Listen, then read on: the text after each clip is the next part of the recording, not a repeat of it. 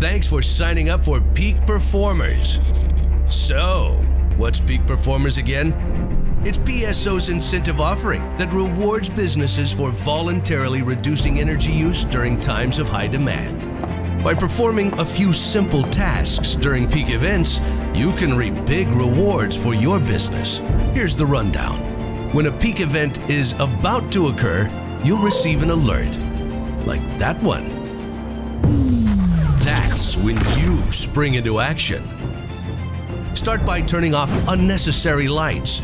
Check unused meeting rooms and low traffic areas. And turn off decorative, display, or overhead lighting where possible.